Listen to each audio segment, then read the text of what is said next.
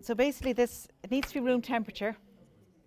That Yeah, should, an hour and a half out of the oh, plenty, yeah, plenty. Just, just not straight out of the fridge. It just shouldn't be too cold. Twenty minutes, think, it? It? It says that I would give it an hour if you have time. An hour is about an hour, yeah, just to get to room temperature, you know, just because it, it, it does make a difference. And it makes a difference to getting it if it's not cold. Now, when that goes in, it doesn't say this in the instructions, but I give it just a, a very small shake. Then you leave it sitting wetting for five minutes. Now, you don't need to see it, you just need to time it.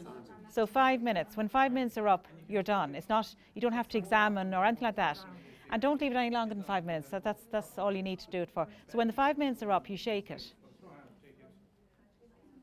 Now, you need to give it a pretty good shake. You can do that. Yeah. The old one you couldn't really shake it too hard. This one you can. Or it doesn't mix properly. So I'm shaking it. I shake it for about a minute and a half. The old version is different. Yeah. Yeah, the old version you can't. Yeah, this is the new preparation. It'll be in the instructions which way you do it.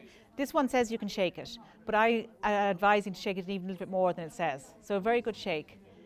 And then you just withdraw it.